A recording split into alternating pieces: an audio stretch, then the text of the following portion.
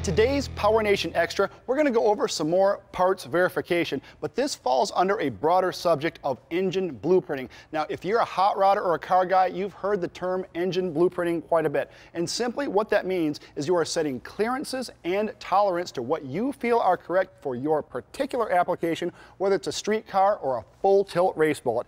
And today we're going to go over something pretty specific on the end of the camshaft. Although it may not seem like it, the end of the camshaft is extremely important. This is where the timing gear is bolted, and if this surface is not perpendicular with the ground journal, it can cause all types of problems because the top gear won't run true.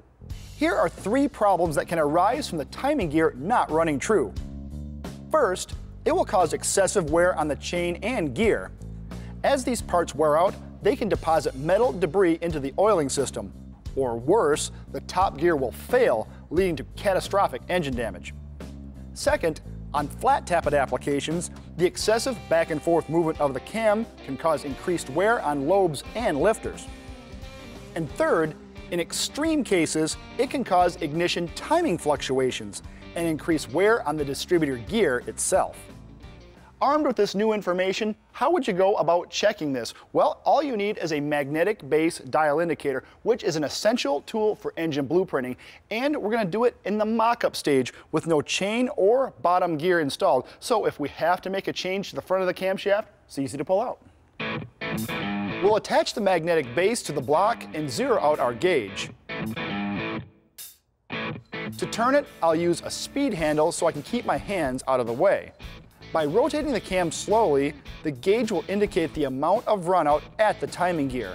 We have less than 2 thousandths TIR, or total indicated runout.